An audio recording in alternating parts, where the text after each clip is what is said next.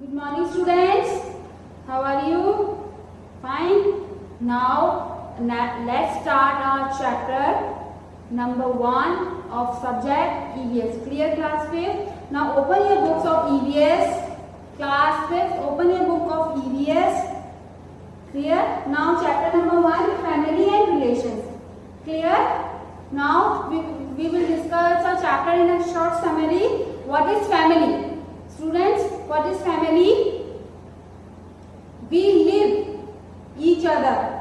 Clear all of you? In a house. It is called family. Families are of two types. Nuclear family and joint family. All of you know nuclear family and joint family? Students, all of you know what is nuclear family and joint family?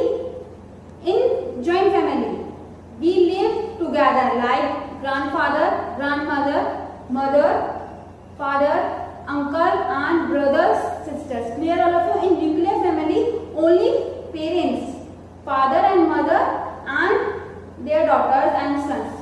They live each other. It is called, it is called nuclear family. All of you clear? Now, oh, page number 6, take out a family tree. Clear all of you?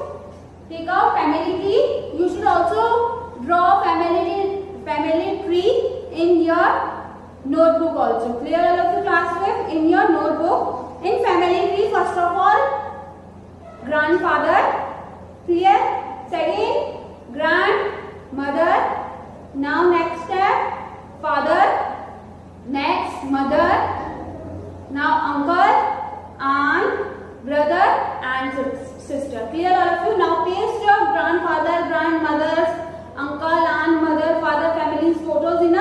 Family tree.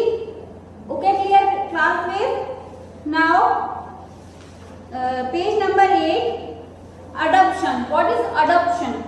Adoption. Clear class with What is adoption? Adoption का मतलब क्या होता है Suppose in a family, if parents have not their own child, किसी भी parents को any reason से कोई बेबी नहीं हो पाता So they should adopt their children. Adopt a children in a in a legal form. Clear class? In a legal form means see definition of adoption in chapter number 8 to provide legal protection to any relative or any other child is called adoption in any संस्था in समिति कहीं किसी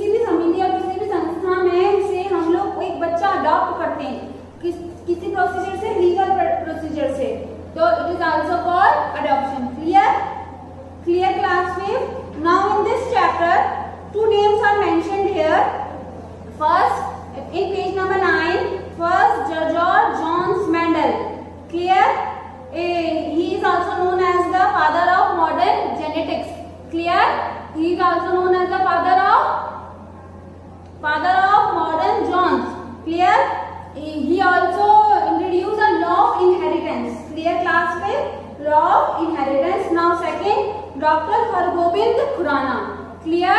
First is George John Mendel. Second is Dr. Hargobind Khurana. Clear?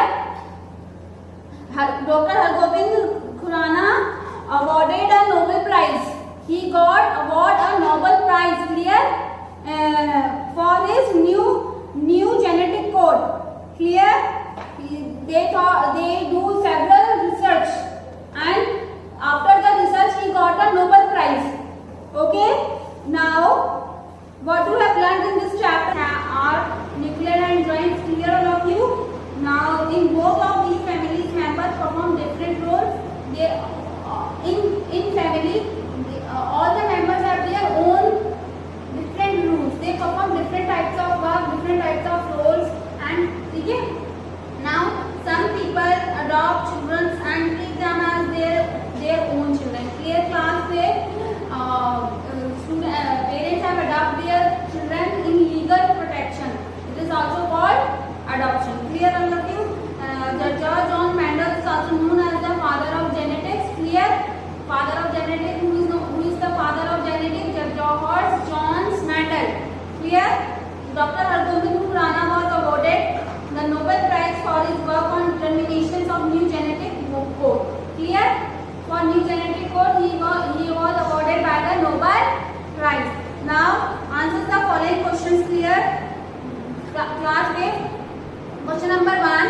Give the names of any two scientists who work in the field of genetics. Two scientists names C page number nine. First number George John Smader. Second Dr. Hargobind Clear? Now second, what relationship do you have with your mother's brother? Mother's brother.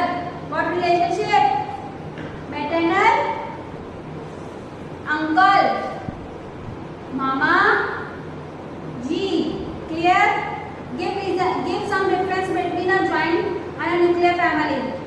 Uh, we also discuss what is joint family and what is nuclear family. Uh, we also see here in a joint family, all the members, grandma, grandpa, uncle, aunt, along with their father and mother live together. Will live together with their children. It is also called joint. Now, what is nuclear? In a nuclear family, there is only father and mother and their children. Now, question number four. What do you? Why do we mostly see nuclear families these days? State some reasons. Here, in these joint family. Reasons here, in search of occupations or higher education, families are migrating from villages to cities. Migration means movement also. Migrate one city to another.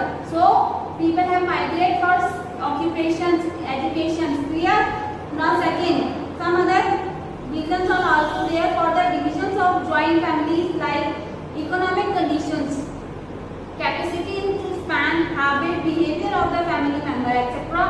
Here all of you, there are the reasons here for nuclear families these days. Clear? Now we give you, we,